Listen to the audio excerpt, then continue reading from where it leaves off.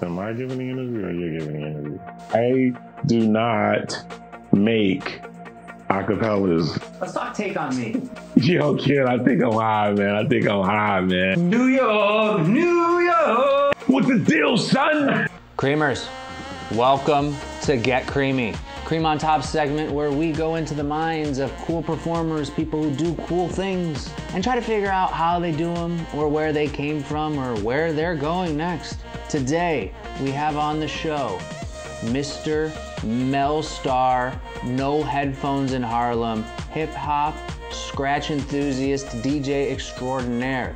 He's also producing music, he's doing things, he's in Vegas, he's in New York, he's all over. We first met on the set of Master of the Mix, which was sponsored by Smirnoff, and the two of us hit it off like rocks and vodka. It is my pleasure today to interview DJ Mell Starr. So without further ado, let's get creamy.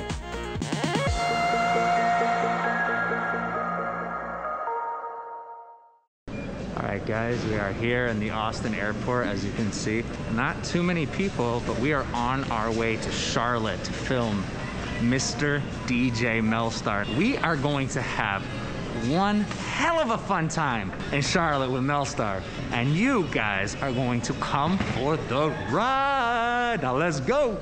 All right, so the flight got delayed an hour. It's all good though. We got the laptop, we're working. We're gonna get there. Here we go, kids.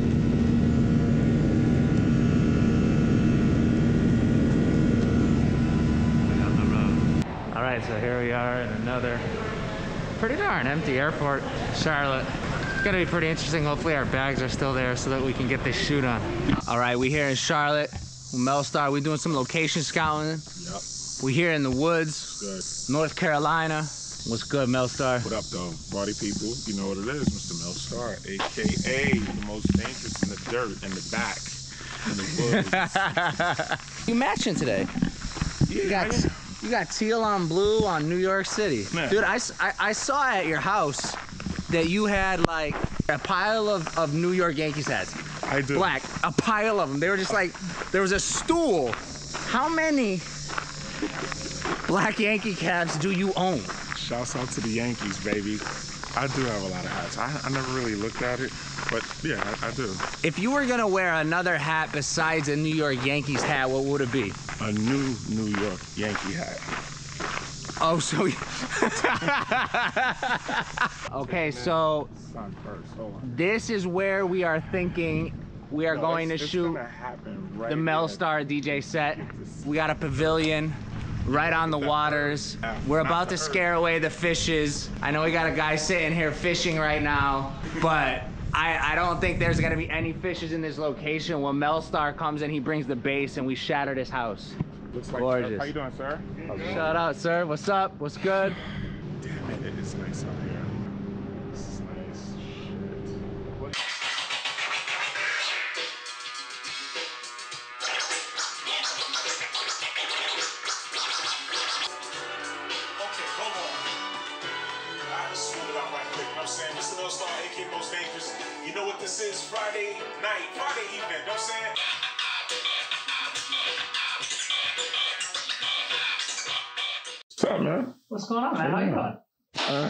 Long time, a little while. It's been a while. It's been a while. So uh, we came here. We're in Charlotte, We are. and you did a little bit of a, a set for Cream on Top. I did. Uh, tell me about your set and kind of Um, like what what it, what it, it was about. It was beautiful, man. The lake, the rain, we did. We got raindrops. the nightfall. Like I, I, the sun setting was like absolutely cool. The house music, you know, a little bit of everything. Um, the scene, I, I just the fact that the scene was set, like that was like perfect. I think. It was cool with the sun going down and everything. drones, cameras all over the place. Side people like, what is going on over there?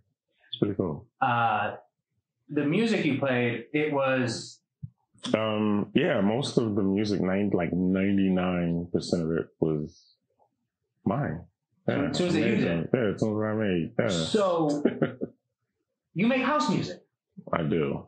I do. I make a lot of house music. Um, I'm, it's funny about house music. Like I'm known and not known for it, kind of in that sense. I guess because of what I do, you know, where I came from a background and what people have seen visually is like, is he really? Yeah, I am. yeah. So yeah. Do uh, Humbly, humbly. There you go. That part. Mell? So I'm gonna be real with you. Talk to me. What's up? In preparation for this interview, Mhm. I listened to a lot of interviews with you, Yes, you can. and you chopped it up a lot, a lot, a lot Oh, about hip hop. Yeah, dude. But you don't consider yourself a hip hop DJ. No, not at all. Absolutely What not. kind of a DJ are you? Um, I don't know. Don't even consider myself a DJ. Like, um, yeah, I don't. I I look I look at myself as more of a musician. So how I, I guess, DJ or put the music together, it's like I'm thinking of it musically. Need the drums, I need a, a hook. I need something to say. I need a, a break. I need a breakdown and I need a finish and then the next record.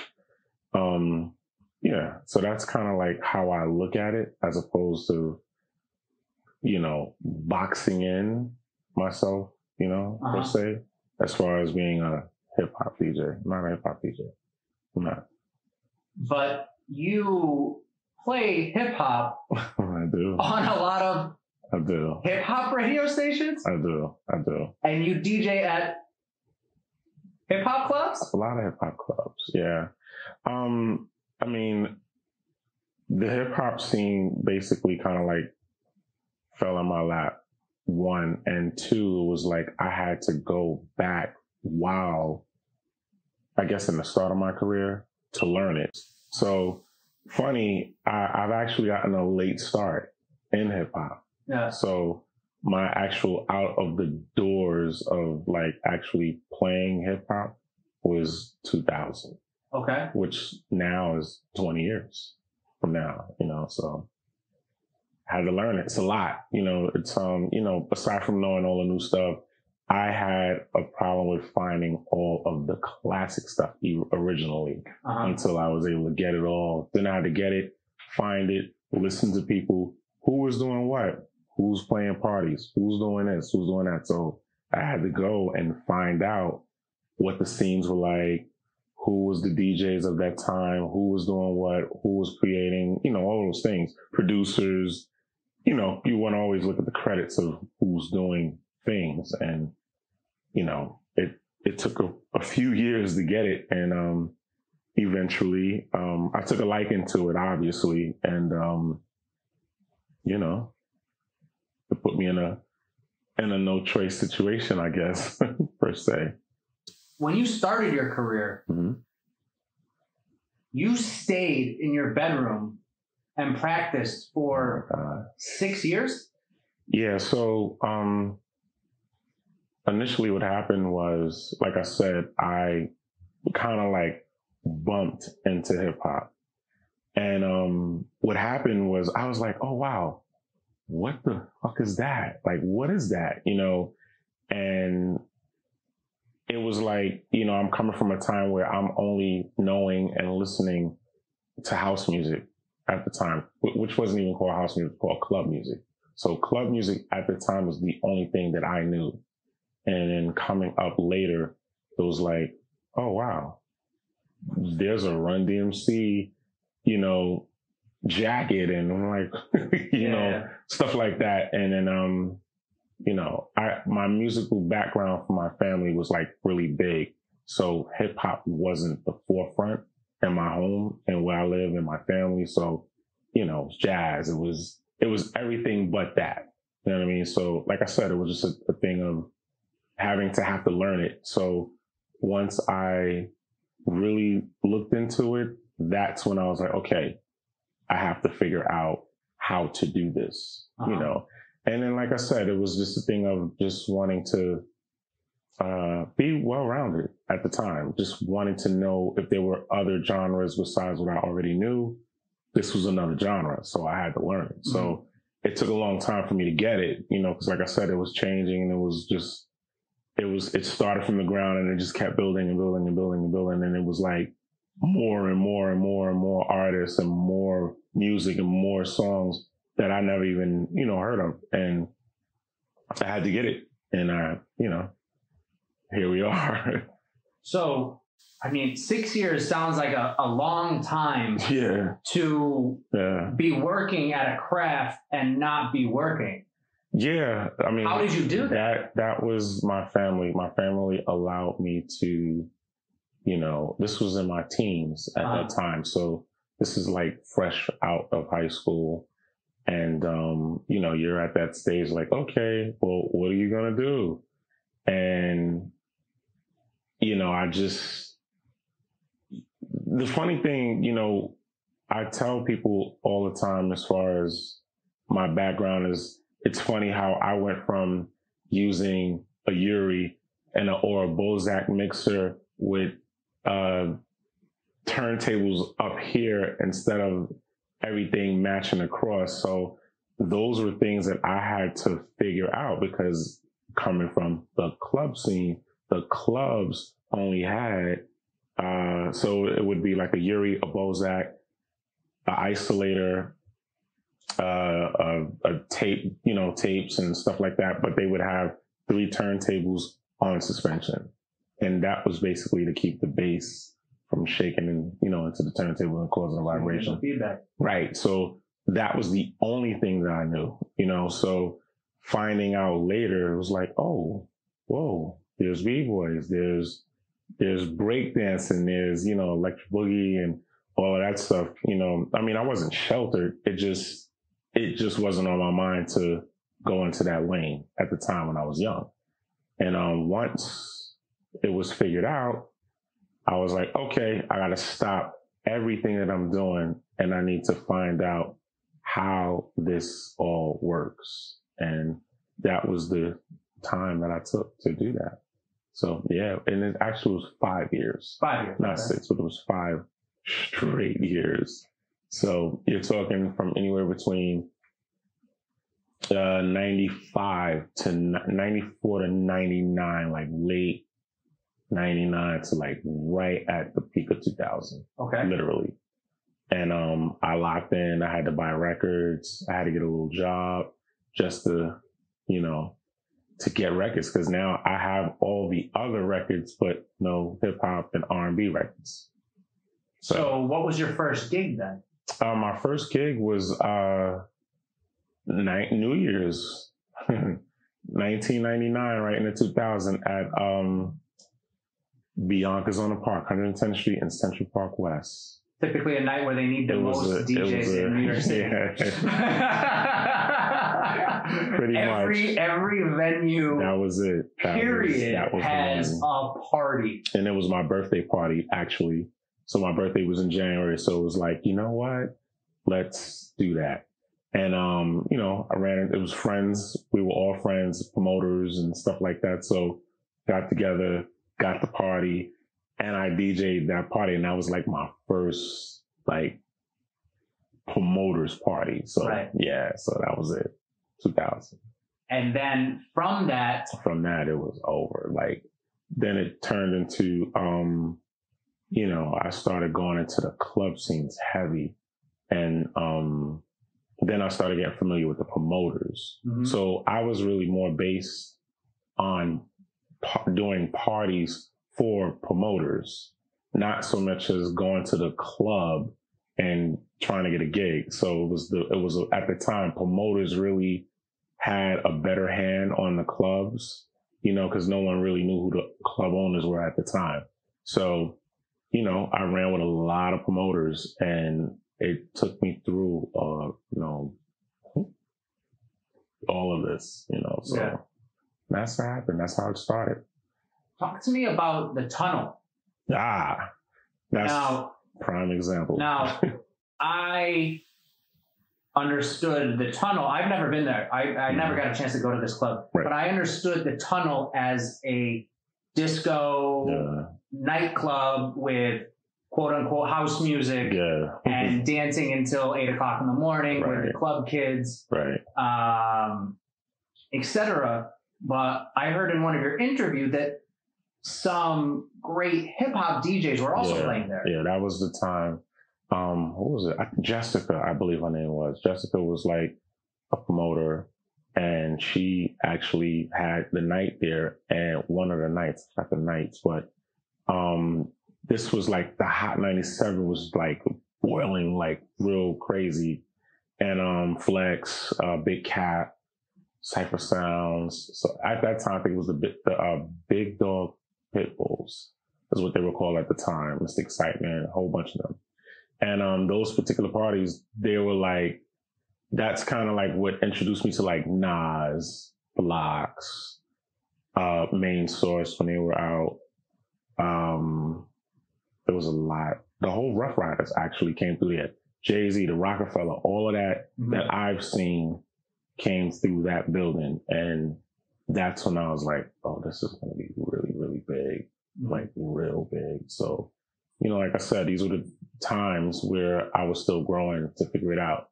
So, yeah, that's what happened. So you you spent five years in in, in the bedroom. I, Mhm. I'm guessing you were practicing and learning how to cut and scratch. I was I was trying to learn how to play the music aside from scratching and cutting. Again, like I said, um, you know, there was um, I guess if you've seen the interviews, there were one uh situation where I had a Bozak mixer, and I didn't. Once I actually saw, you know, a DJ have a turntable and a mixer in the middle and another turntable on the side. I'm like, wait, wait a minute. And I was wondering, like, how are they able to move and maneuver so fast as opposed to, you know, you being here and you have to reach up here. And they were just like going this way. And I was like, oh, this is crazy. So when I had got the look and looked and found out, I was like, oh, I got to change my mixer. sure. So, you know, I went to Rock and Soul. Uh huh. Shouts out to Rock and Soul. Shouts out to Rock and Soul. And um, I went and um, I took my mixer and I went to Rock and Soul and I I I wanted to trade the mixer for a Gemini mixer. it was like the little nasty flash Gem- Gemini is the mixer that you get. That's the most entry level mixer. Yo, oh Period. God. And it lasts for about six months before Yo. the faders start to bleed, and you're you're, you're playing Yo, two tracks no matter what out of Oh, this mixer. man. And it was crazy because they, you know, I remember it clearly. Sharon and Shirley was there, and I saw Shirley, and I was like, "Hey, you know, I want to." I was young, so it was like I was still a teenager, and I walked in. I'm like, "Hey, I want to trade this mixer out. I want to get an, you know, I want to get that mixer right there, that one right there." I saw the little transformers on there, and they're looking at me like I'm crazy. They're like, "Does it work?" But not knowing you know, this mixer was like three grand at that time. You know, I, I didn't know it because I, you know, I, I inherited it from my, my uncle. So I didn't know. Um, and she's like, you sure? You sure you want this mixer right here? It was fresh in the box. It was brand new. I'm like, yes, that mixer right there. Even trade. Damn. If I'd have known.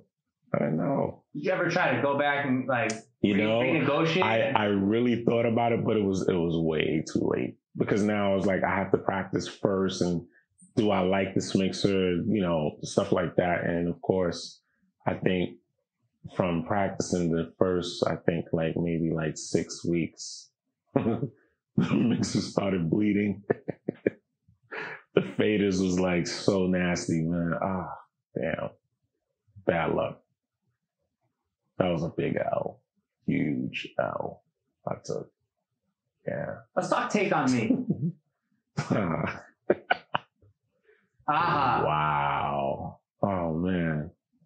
So for those of you who don't know, Wow. uh, Mell Starr and I were on a DJ reality show called Master the Mix season two. Yeah. Uh, it was on BET, and I just met this man, and they put me and him on a team, it was the gold team, Yeah. and I wore some famous gold shorts. Gold, golden. sh- And Short tell them what you did, Mell. Man, um, wow, that actually, you know, it's funny that changed my life. Actually, it really did. Um, 2010. Yeah. So what happened basically, um, I was known for having acapellas. Uh huh. And honestly, the whole purpose was just to pull off the acapella of the record of having Take On Me. And I knew, you know, none of the guys had it or the ladies had it. And, um, and as I was going through the record, I was like, wait a minute.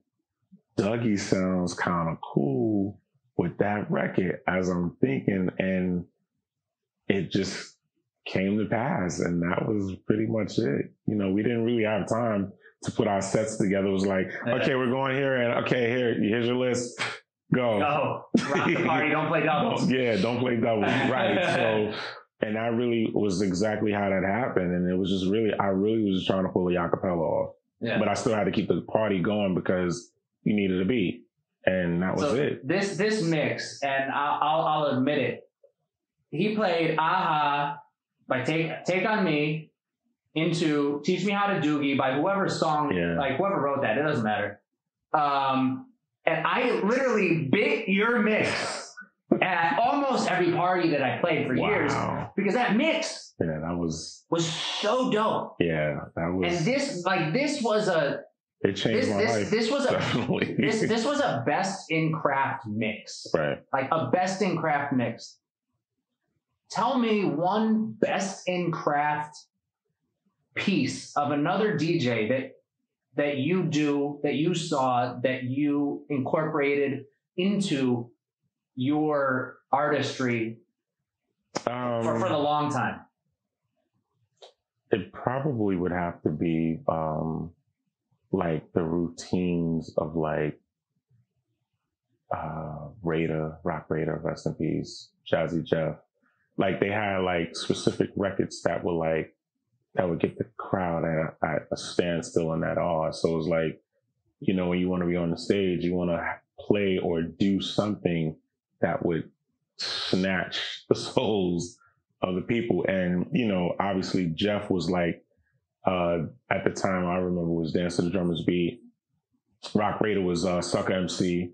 So, you know, Raida was just like, ah, and like the crowd would stop. Oh shit. And then it was like, once he was done, it was like, it was kind of like, I dropped the mic and I'm done and I'm walking off, you know? And then the same thing with Jeff. Jeff, you know, the, the, the Dance to the Drummer's Beat routine really caught a lot of my attention. And those were like signature records that Yeah. I liked, you know, and again, with practice, you know, I had to come up with my own type of routine to figure it out and put it together. And that was it. That's the start. You are from Harlem I am. and you rock the New York parties. And a few years ago or a year ago, you said, said Jamieson, I'm going to Vegas.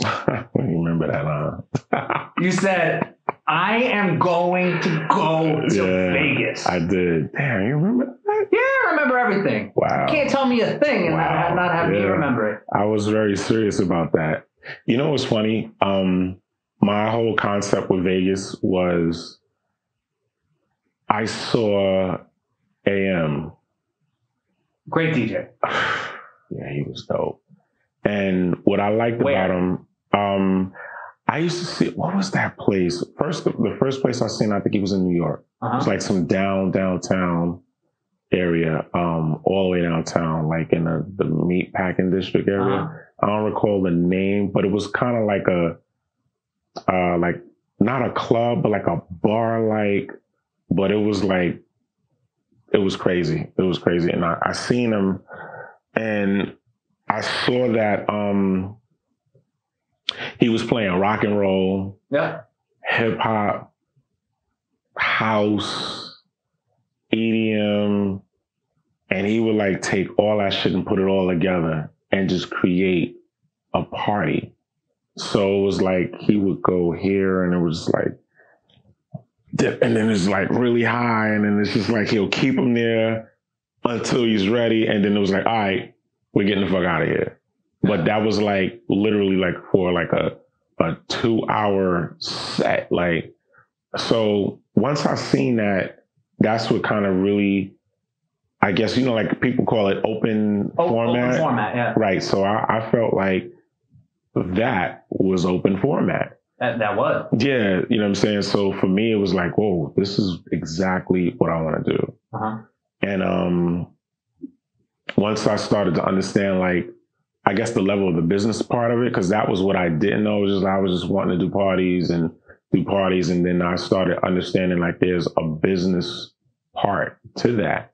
And I seen, you know, him. I saw Jeff. I seen um, Z Trip and a couple other guys that was just running, and I was like, I want to be like that guy. Like he's dope. Like he's all around dope. You know, it's a lot of DJs. I love a lot of the DJs that were um that I saw even in my come up, but it was just something specific with him because it was the openness of how he played and it was like he wasn't scared to play it. Well, DJ AM also he opened the door up for every DJ in the world to charge a lot of money. A whole lot of money. Yeah. DJ. AM, Yeah, um, shouts out to DJ AM, rest in peace. yeah. Incredible just- DJ. If you haven't seen his documentary, Crazy. you should check it out. It's on Netflix. Yes, it is. He's the first person to charge 10 grand, then 20 grand, then 30 grand, then 40 grand, then 50 grand DJing in Las Vegas. Facts. That's just the facts. And he opened he opened the door up for every DJ entrepreneur and- business person. And also remembering too, that's where the format changed too, because again, at that time,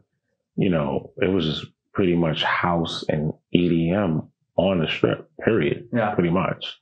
So for me, it was like, that's the route that I want to go, you know, and again, shouts out to all the DJs. I've seen a lot of DJs in my years, but that was the one that really stuck out the most to me. Like, Mhm. it's cool to play a rock record and be cool and still play it and get it off. And no one is like, what the fuck is going on? What is that? What are you doing? You know? So it was just obviously, you know, when you, you get the trust to be able to do what you want to do is, is, is endless, endless. And once I saw that, that's when I was like, yeah, I'll do that. Okay. Yeah. So you got the skills to pull it off. Um, yeah, pretty much. Okay. I, I told you that. I, I didn't, that wasn't a question. I was, I was not asking you a question. I was not asking you a question. I know that you have the skills to pull that off. okay. Give me okay. You talked. You mentioned the word business. Right. The people that are going to be watching this, the creamers, y'all are creamers, by the way, in case you haven't figured that out. Talk to me about business as a DJ. Like, like, give me, give me a piece of knowledge that, give me one little tidbit, one little fact that, that for a DJ coming up in the game, a DJ that you know might have listened to DJ AM's mixtapes hmm or something like that, and is like, shit, Yeah. I, I, need to do that. the most important thing I will always um, say is respect the craft. Mhm. That's number one. Um, respect the craft and understand the craft. You know what I'm saying? Understand the music. Understand what, what you're stepping into when you're going down those lanes. You know, like I said, Vegas, for instance, is a big deal. You know, which you know I didn't think it was. I just thought it was just, oh, I'm just gonna go to Vegas and yeah, whatever. I'm gonna flex the DJ muscle and I'm good. And it was like far from that, you know. So that's where the business comes in with uh, curating relationships and knowing where to go, who's the who, what's what, you know, things like that. Um, it was fucking hard. it, was it was really hard. I, I really don't, I guess, give out that kind of information because my whole thing was always, you know, you practice, you learn it, you understand it, you get it, and then go forward with it Yeah. you know, and that that's usually my direction on how I did things. So yeah, I'll leave it there.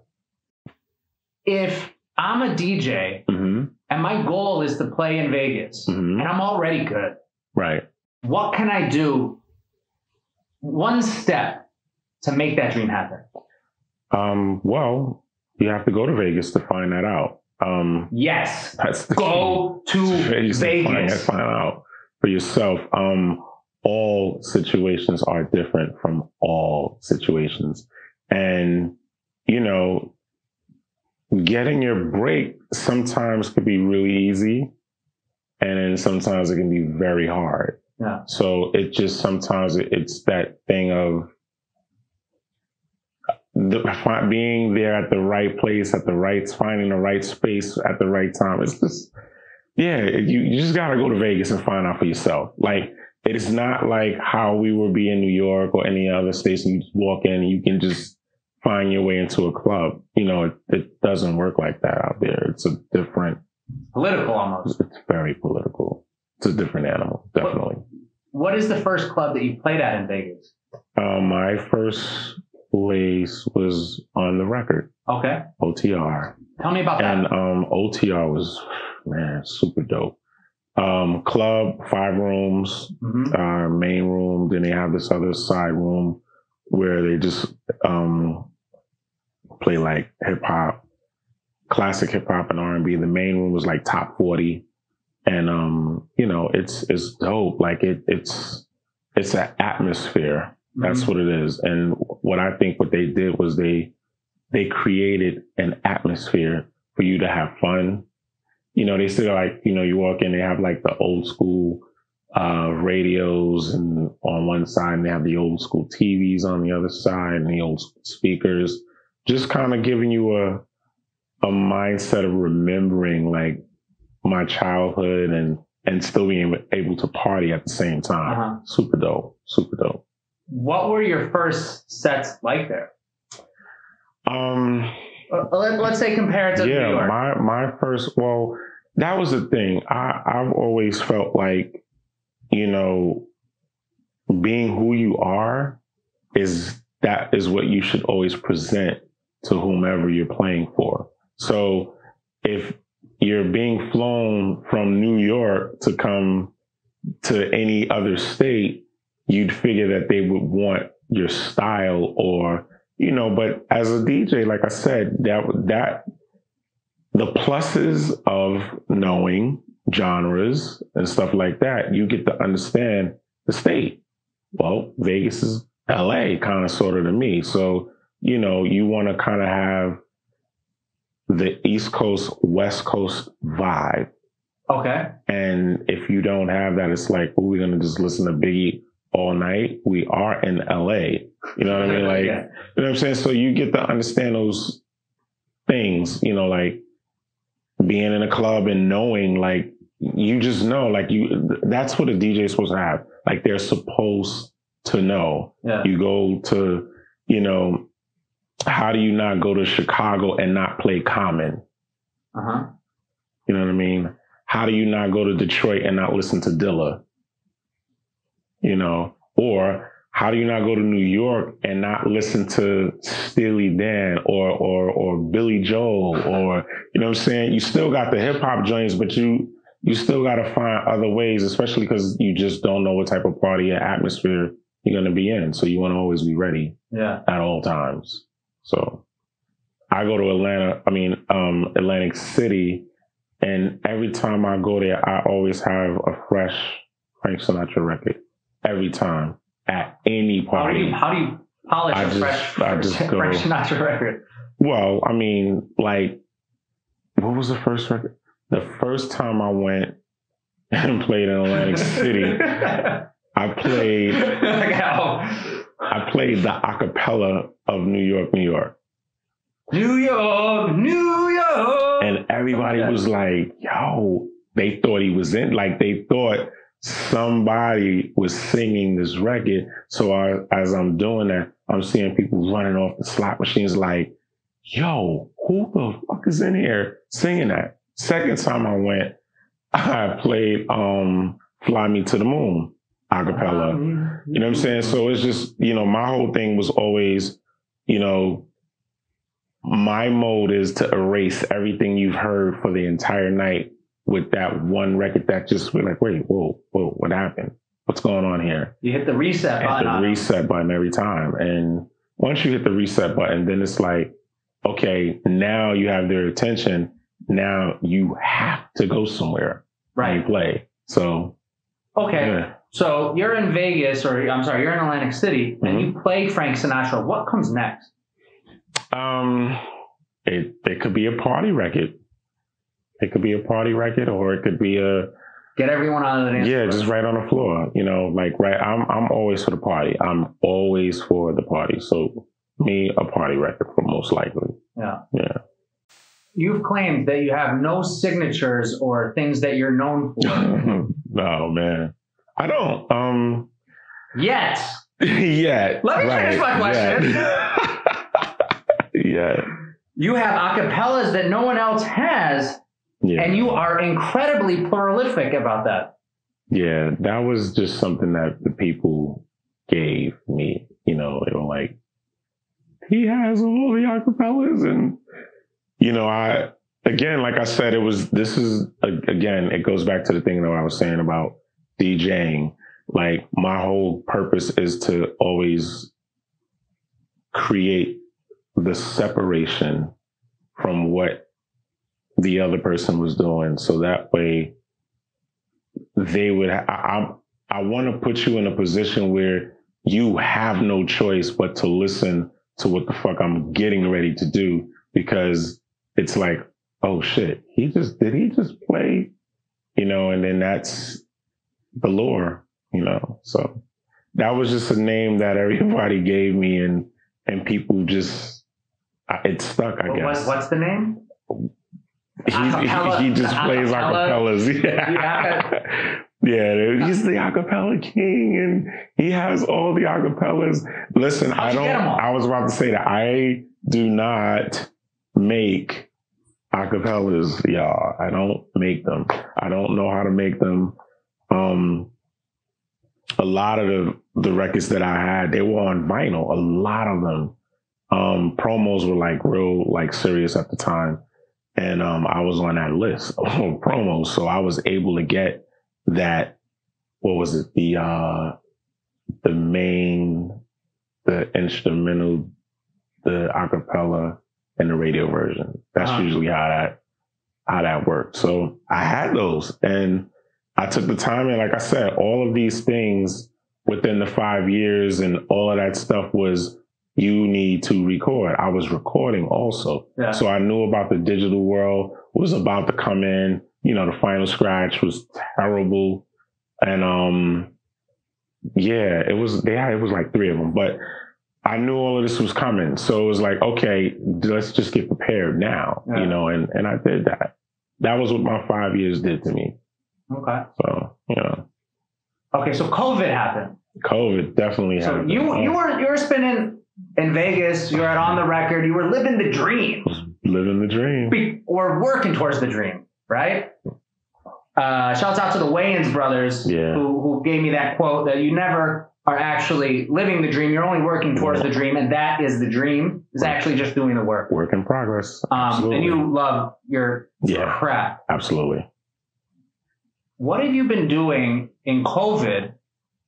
And what's next? What have you been thinking about in this sort of five month period so far? Um, a few things. Uh, one, I started really locking down and uh, creating more, making more records and making more remixes and things like that. So that actually kind of gave me a reset, kind of sort of. Mm-hmm. I mean, obviously, from the party aspect, it became virtual. So, you know, that's how, like, uh, was it Twitch and OBS and all those things have come up. And um, so I would still utilize that time. I'm on the radio, you know, so those are the things that I've, I've, I've constantly been just always doing something aside from DJing in a club or being anywhere. So I always had, you know, and then I was DJing for Houdini as well. So this is, these are all of the things that, you know, you save for moments like this, Right. you know, just in case if some shit happened and you can't recoup or, you know, come back. So yeah, I made a lot of records. That's one. Um, yeah, I made a lot of records. I made a lot of records. I took a lot of time to, um, make a lot of records. That's yeah. Um, I'm gonna say a name, Talk to me. And you are going to tell me the funniest thing that Uh-oh. comes to mind when I say this name. Okay. Nothing else. I don't want to hear no other stories. Just the funniest thing that comes to mind. Okay. Biz Markie. Good friend. Very good friend. That's funny. that guy. it's funny that he's your be friend. like, hey, um, what's that he always says? Yo, Mell, what's the latest? Every call, Yo, Mell, what's the latest? Uh, Usher. bad motherfucker. That's funny. I don't want to. Usher, This is um, not the first thing that yeah, comes to mind. yeah, This is the funniest The thing. The funniest thing, um, good dancer. I don't.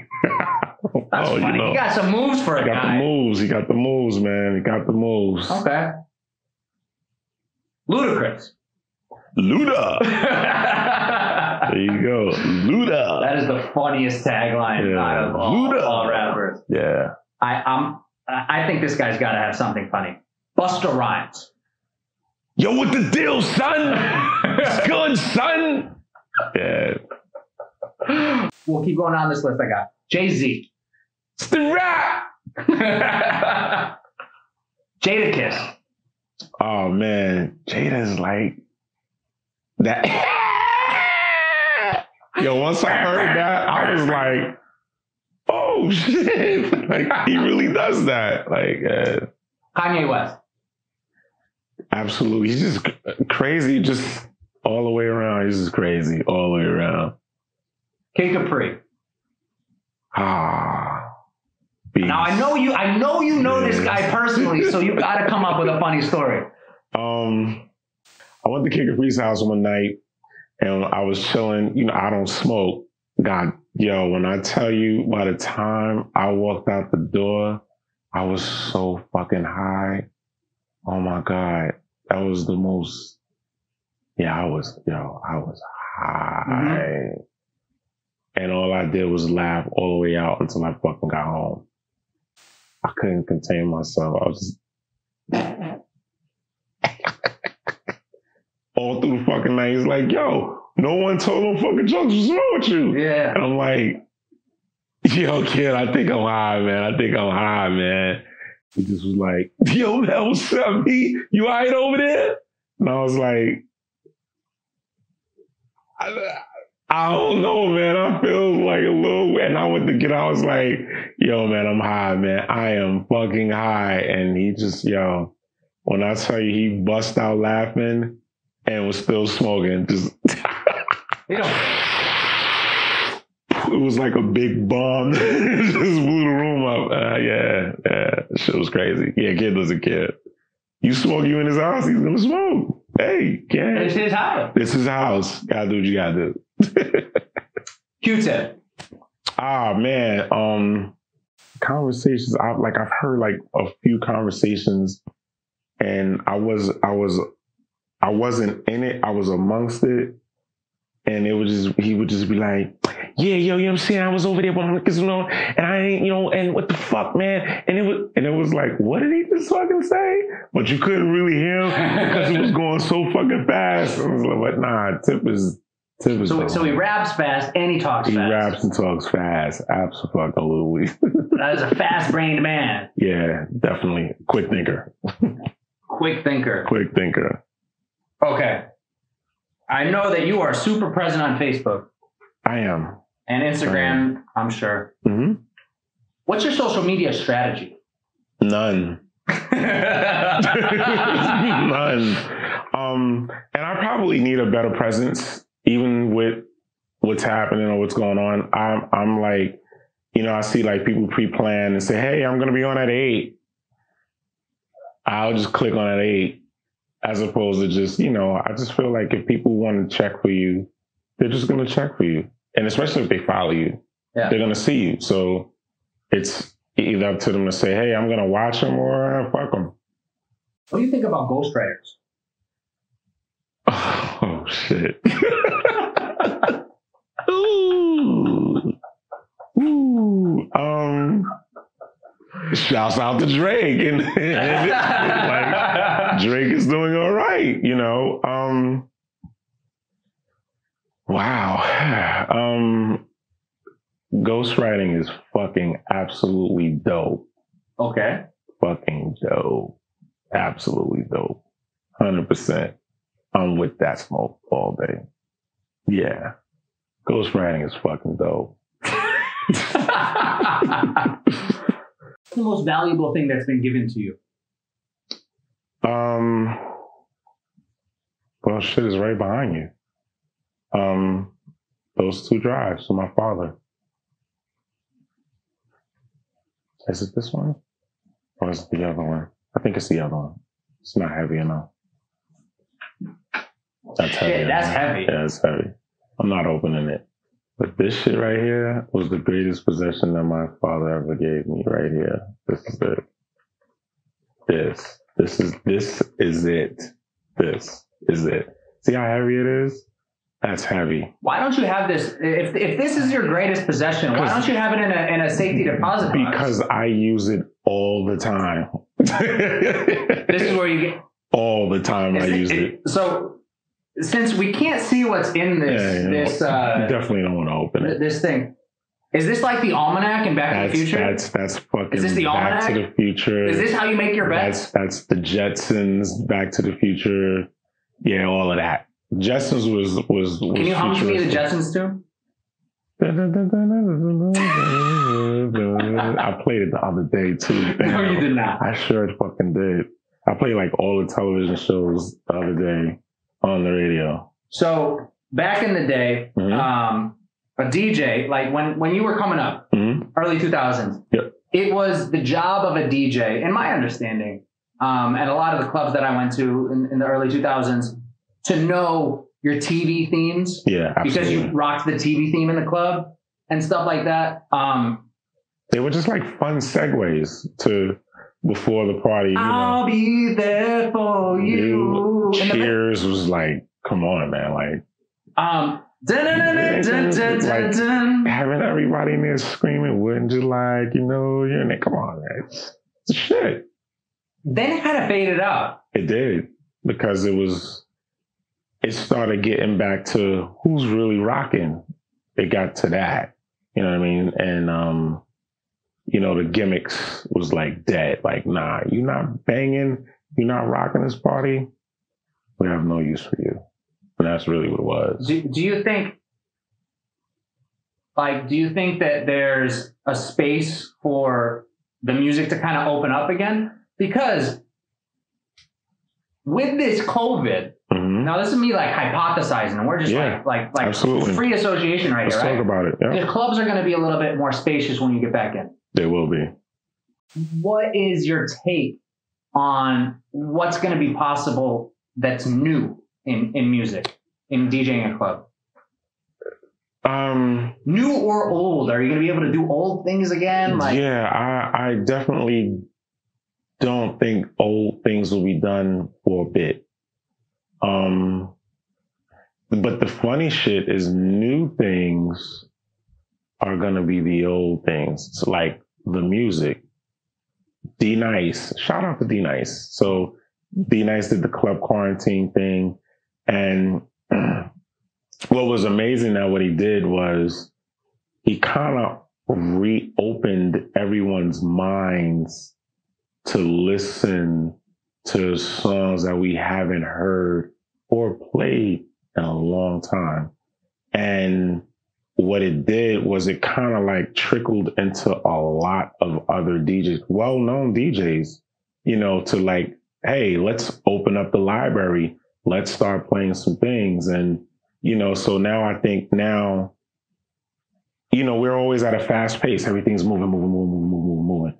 And I think now everybody's kind of got like a, a, a, a hot sit down moment. And then it's like, oh shit, I remembered this record or I remembered that record. And I think now it's kind of like changing the mindsets. So I think partying would probably be a little different now more than it would as it was before. Before it was just trap. it's funny because I'm like thinking now, I'm like, you know, that music is not as prevalent as it was when the clubs were open.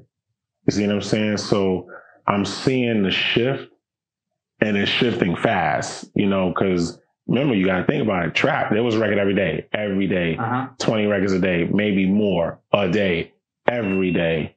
Yeah. So I, I it, it seems like, to me, it just seems like it's going to be a shift.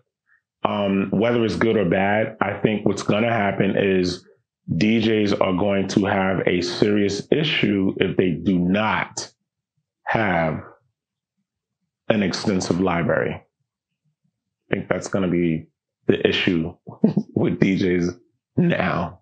Have you touched your Strictly Rhythm records over this quarantine period that you talked about in the With No DJs podcast? No, I haven't. No, I haven't. I have, um, but it's a reason because because one record, like one album, it could be like recording that one album, one one album could be about twenty five minutes, Yeah. literally one per. Because records were like seven minutes, and then it was like the eight minute dub, and then the six minute acapella. Then you had to flip the C side, the C and the D side. This is on one record, and that's like seven more minutes and eight more minutes. So it's like for recording, you got to have a serious mind to like, because you got to sit down, you got to record it, you got to go in. I put everything in Pro Tools, so I got to record it in Pro Tools. Everything's in real time. Yeah. Go back, cut it, beef it, make sure it sounds good, make it right. Oh, it's good. All right, snip, next record, nice. So on and so on and so on. So we're talking about a lot of fucking records for Strictly Rhythm. For those of you who don't know, Mell Melstar has an entire basement full of records, and he was one of the first guys to digital Yeah. digitalize these, Yeah. these records. Facts. And uh, you, you if, go check out the, the Without No DJs podcast. He, he talks about it in there. We don't need to go It's into lot. detail. Yeah. It was a lot. Ugh. What's the busiest you've ever been? Shit, it's funny. It seems like now. Um, and during the You season, like son of a now, bitch. I'm like, you know, I, I'm I'm on a radio heavy yeah. right now. Um, 108 Soul, um, Boston, um, Heat, the Heat Station. I call it the Heat Station. Heat Station in Boston, um, Vegas, Power 88 in Vegas, um, Rock the Bells Radio as, as well. Shout out to LL Cool J. LL Cool J. C Trip, yeah, James. And um yeah, so it's like that's pretty much a, a, a everyday thing. How much DJing is too much? Oh. You gotta eat every day, don't you? so I don't know. Um that's a good question. I never I'm a work progress. So I, I I've never looked at ever thinking about stopping ever. Like I just never it's like even if you have everything, it's still not enough. And you still have to work hard to keep that. So I don't know. Probably never for me. Tell me, tell, tell me the what's what's the difference between a Funktion-One sound system Ooh. and a Richard Long Long. sound Ah. Damn. background? Funktion-One is probably the one of the most prolific uh, Yeah. club systems of, of, of today, It is. and Richard Long, well, uh, rest uh, rest in peace, was a sound system designer who did the sound system in uh, Studio 54 and the Tunnel. Tunnel. I think he did also, if I'm not, the garage, I believe. So it was like, he had a, so the dopest shit that I've ever seen with, with the sets or sound systems that they had, like that was like one of the times where I was introduced to like what they call a crossover. So like they would have like, in that 80 well it was built they built it i guess anywhere between the 70s and 80s but when i was able to go see it it was like i've never seen that was like a three-way system at the time so you had where they were able to separate everything the bass the mids and the highs Right. and it, it, was just the most am- amazing shit I've ever heard in my entire life. And then they had the sound system, Berthas. So they had like these, like the speaker would be as big as this, but this wide, like, Yeah. and they had tons of them in the club. Funktion-One is dope. I mean, obviously it's state of the art now. You know, times change. Um, and you know, back then they were like amps, racks, and stuff like that. But um, Funktion-One is dope. But that Richard Long was a different kind of different. It was different. It was very different, and it was like you could be standing right here, and if you decided to just walk right there, you could actually have a conversation right over here, but you couldn't right here. Like Yeah. that Sonics has Did you get to play on one? um Cielo, I believe I think, I think, I think, I think has part of a Richard Long system. So And part Funktion-One. yeah, and part Funktion-One. So they had like, you know, the, the true deck, which was the three turntables Oh, and the, the, sound system, all of the it. complete sound the system, complete turntables, yeah, that whole bit. three. Yeah. yeah. So and a rotary mixer. rotary mixer. Louie, Louie Vega, shout out to Louie Vega. You talk to 80 people a day, just, just about, yeah. and Sorry about that. I know you sat through a lot of those calls. you manage Sorry. hundreds of comments on social a day. yeah, How much confusion is in your mind? probably a lot. Uh, I, I, I speak for several people in my mind. Literally, like I speak for several people in my mind. So, yeah, it's hard. It's hard. That's hard. What's hard about it? Um, well, you have to, you got your day, which is not long. Uh huh. So you have to put a whole bunch of things. It's like, it's like taking an ethernet cable and trying to stick it into a phone jack. Don't fit Exactly. Doesn't fit. at all. Period. And that's Period. period. You don't. and that and that's that's kind of like what happens. Um, I do a lot, you know, and um, I do a lot of phone calling. I, I get a lot of calls. I make a lot of texts. I try to post, stay, you know, as they say, stay relevant, and Mm. and also put up the things that I want of choice. And you know, to some degree, I'm looked at, you know, as far as like equipment and stuff like that. And I try to stay up on it, and I also try to utilize that to give information off to to the people who probably want to learn it. You know, um, the ones that are on it already, and you know, stuff like that. So it's a lot. It's a lot. It's a lot. What equipment are you excited about these days? Um, you're actually are leaning on it. Yeah, Denon The good GoPro rest. with a GoPro rest. Yeah, and, and, a- and a Zoom. yeah, We got the the Denon DJ. Uh, the six thousand. The six thousand. Uh, you can check Mell using them, and we unboxed them. Yeah, They're tough. pretty. They're pretty dope. These are the M's because they're motorized. Pretty smart. very smart. And you can still keep the, you know, the, the, the concept of DJing with as if it was an actual turntable. So that to me is Yeah, they, they they they spin and it's a, it's a platter. yeah. So now they sit next to the five thousands. Five thousands look small now.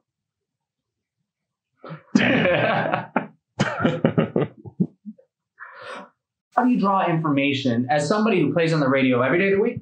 yes. How do you draw infor- inspiration for so many DJ sets week in and week out without an audience? Um, so what I do for an audience is I will reach to the social media department and I'll like say, Hey, hit me on Twitter, Instagram, and Facebook, you know, at DJ Mell Starr two L's two R's. People will come in and you know, it's never a plan on as far as like what I'm going to play, but what I do do is I check and see the mood of the people. Yeah. So like someone will be like, I'm on the highway right now and I'm ready for you right now. Then you have some people are like, oh man, this is a long day. Ah, I'm tired and but I can't wait to hear you. Or something like that. So to me, I look at that as the mood of what the people are in. So I would take, you know who's and it's funny because I kind of learned that from Michael McPherson. Okay. Shouts out to Michael Michael McPherson. Michael McPherson. Michael McPherson came up with this this whole thing of he said he called it the mood mood, mood designing, Uh huh. and I kind of I like that, like because it's like, I- but the difference with me is that I create the mood from what I'm looking, what I'm reading, and and you know, so if someone's having a bad day, I can actually play a record and still keep the flow and like I guess kind of sort of like let them know like, hey, it's all right. You had a bad day, but I'm gonna play lovely day for you. You know what I mean? And I want you to have a lovely day.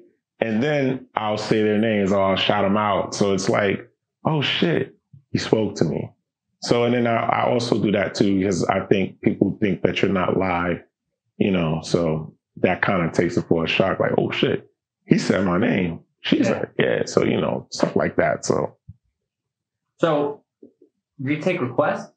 yeah, I have no problem with requests. No problem with requests. No, none at all. Um, I think the radio is for the people. Sure. I think it's for them. So yeah, you want to request? Sure. You take requests in the club? No. But then, not to be a, you know, I don't really get asked that much. It might be once in a blue, not as much because my whole purpose of the club is murder. Like I am in the club to kill the club. Like I don't even, and I, I try to do it in a way where it's so impactful that you don't have to ask me for a record. Sure. All right. What's the difference between DJing for DJs and DJing at a party? Like, let's say you're at the playlist Ret- retreat Mhm. and they ask you to do a set and you're DJing a set for all of your peers, or you're at a park jam and it's a bunch of, uh, you know, DJs and like colleagues of sort. Okay. What's the difference between being at a club and DJing for people that, you know, probably don't know you personally and DJing for colleagues? DJing for your colleagues to me is more showcasing. So like this is just that moment where you want to show your skills to your friends, you know what I mean? Because they're not the ones that's going to pay you later. so you don't have to, you know what I mean? Real talk. Right. So it's really like, hey, I'm just going to show you some shit. I'm going to show you, you know, and, and I think, and it's funny because that's kind of like, you know, me playing acapellas. Like those were those type of situations, but I wouldn't do that at the party. Yeah. You see what I'm saying? So now the party is a whole different animal. Like, you know, you're going there to do a job versus just, hey, I'm just with my friends and we're just going to start just cutting all day. Nah, it doesn't work like that. There's a question from the audience. Do you have a, do you have specific names for your cuts? And when do you know when it's time to execute a certain cut? Or do you freestyle every single cut? Or is there a sequence and a pattern that you must abide by? Uh, I don't have any names for any of the cuts that I do. I, I really don't. Um, I'm I'm really honestly more on on off the cuff. Like I, my build for DJing is really from the impact of the people. Like literally. I mean, I, I will do what I need to do, but you know, sometimes you might just have somebody just, oh my God, and that gives you that extra energy to do some other shit, you know, and yeah, you know, it all, like I said, uh, again, like that's what's going to make this all interesting when the parties start again because that all of those things are going to be the things that are going to be missing now Mhm. from the parties because now it's social distance. There will be no one right in front of you. So now it's going to be a situation where, oh shit, some get may get stuck and be like, oh shit, I don't know what to play. Oh shit, are they having a good time? Am I doing a good job? You know what I mean? So just you keep the confidence and you know what you do what you're doing, you should be fine. So, walking into your house, hmm pile of Yankee hats, yeah. um, you know, more mixers than I've ever seen. Um, Oh in, in, in a store, even your house, your records on the wall. Um, your house clearly speaks to someone who is incredibly passionate about music. I am. Is there anything else that you're equally passionate about? I mean, my family, you know, of course, shouts out to my family. Um, no, this is it. Yeah, this, this is it. This is how I eat. This is how I live. This is how, um, you, I utilize this to take care of my family as well. So like, this is it. So I, I don't have any other it's nothing else. It's just this. That's amazing. Yeah. And and I love it. I love what I do. If you could make a piece of hardware, what would that piece of hardware do? A mixer. I was, hoping that you wouldn't ask me anything like that, just on the fact that you saw all these mixers and, and a Yankee hat and another Yankee hat. Um, nah, you know what? I um, Dude, if I owned a Yankee hat factory, I'd probably be rich. Yeah, it, it looks like there. one. I know, I know, it's crazy. Um, yeah, mixer. I, I would think making a new mixer would be something that I would really want to do, and I, I guess that's why I have so many because I'm always I'm finicky, and I haven't found the perfect mixer yet. So that's why I I go through a bunch of them. So yeah, Gives you something to do. It always gives me something to do.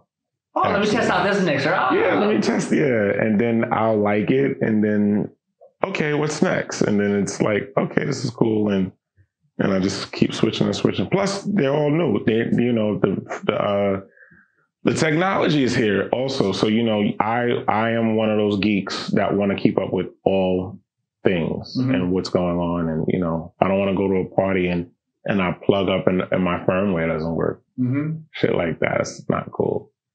If hip hop died, what would you do? Oh, I would be playing house. No questions asked. that simple. What would the first house music record you would play be if hip hop was dead? Shouts out to hip hop. This is a real question. It would probably be um probably one of my tracks.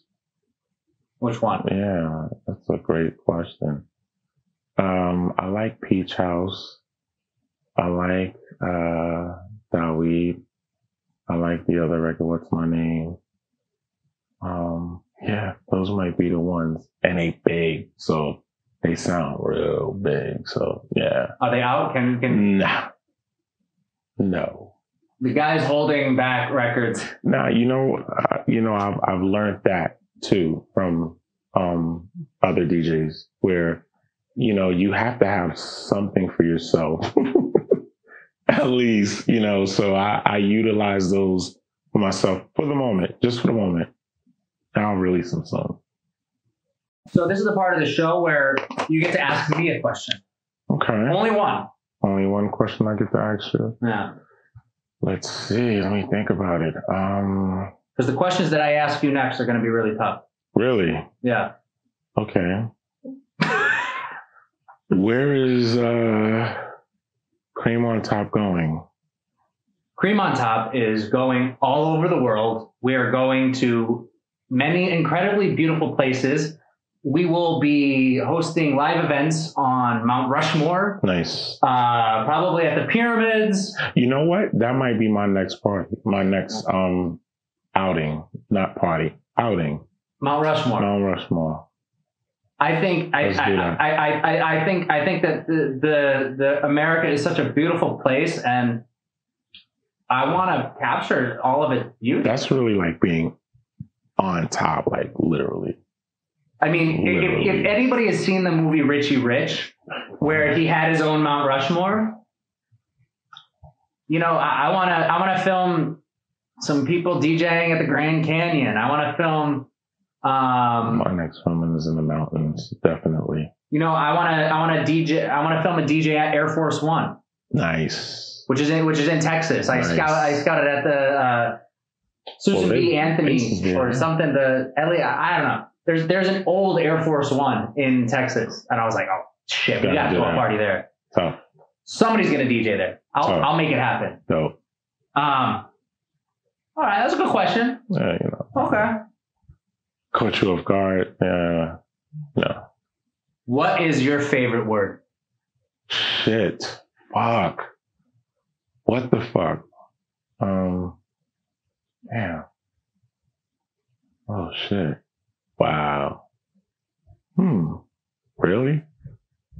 All right. Pick one. All of All of the above. wow, All of shit. the above. All right, Yeah. All right. Eh, all right. Cool. What the fuck? Word? Oh shit. Really? Wow. All of those. You answered Sorry, about ten, but that that's that's 10, that's, yeah, that's chill. It's, it's your question to answer. What's your least favorite word? No. What's your favorite curse word? fuck. What's your favorite trend? That's a good fucking question. See? Fuck, see? I just said, see? It's a good fucking question. I don't know. I'm gonna have to pass on that. I have to get. I gotta think about that. That's a good one. Okay. What's your least favorite trend? this is another pass. That's a good one. Okay. What turns you on? Hmm. A good fucking steak. Rib I prefer. Medium, garlic, salt, pepper, crushed peppers, Any sides? mashed potatoes and garlic, butter sauce. And uh yeah, some string beans. Actually, you know what? Might have to do that this evening. Take a shot of that too, so I, you know. What turns you off?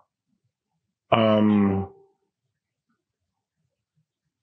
trolling, Trolling. trolling, yeah, trolling. I think that um, we have given people too much open access to you, and people are really judgmental when they don't know. You know, that doesn't necessarily have to do with me, but just on an overall scale. You know, so yeah, trolling I think is really bad. Yeah. Ladies and gentlemen, Mr. Mell Starr, thank you for joining us. Thank you for embracing us and embracing the questions and coming here and and uh, giving us the good word. Good word. And thank you for your DJ set, uh, which we Appreciate recorded it. yesterday. And uh, if you haven't checked it out, go check that out. You can find Mell Starr on the internet. Yeah. DJ Mell Starr, Two L's, two R's. two L's, two R's. Um, you can listen to him on a bunch of radio stations. All those links are going to be in the Yeah. down in, below in the show notes. DJ app. And, oh, and he's got a DJ app. Yeah. Thank you. Creamers, if you liked this segment with DJ Mell Starr, then give it a thumbs up. If you hated it, give it a thumbs down. If you want to see more, subscribe and hit the bell icon. If you want to tell us what to do, then leave a comment below. And if you want to know what really happened to Apollo 13, follow us on Instagram. Get Creamer.